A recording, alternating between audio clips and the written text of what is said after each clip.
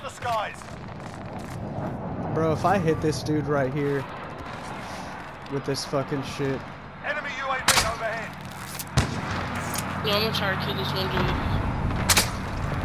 This. Oh my god! Holy shit, I'm recording that. That was insane.